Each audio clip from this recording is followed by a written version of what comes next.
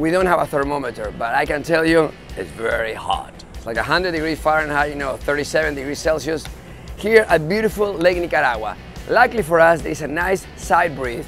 Luckily for us, for the competitors means a lot of extra paddling.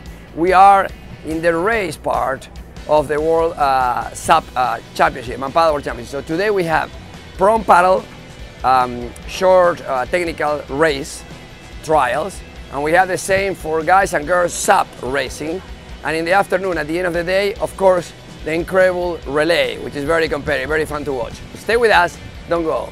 This is the ISA World SUP and Paddleboard Championships in Nicaragua, Granada. Gracias.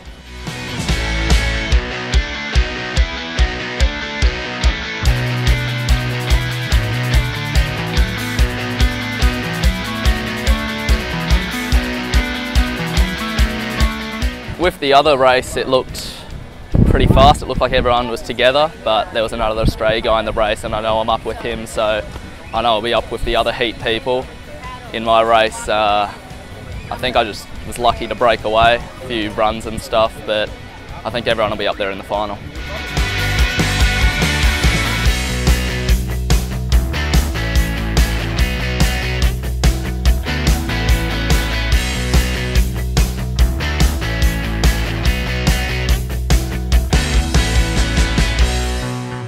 Contenta y las sensaciones han sido buenas después del hit de hoy y esperando a mañana que será una larga distancia, hace muchísimo calor y espero hidratarme bien, llevarme buena hidratación porque va a ser muy larga.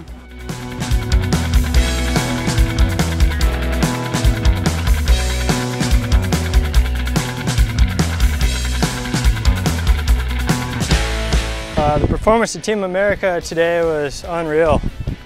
Um, we, we, got through all of our heats. We all qualified for our finals on Sunday.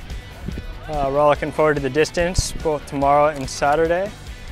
Uh, the relay we just had was unbelievable.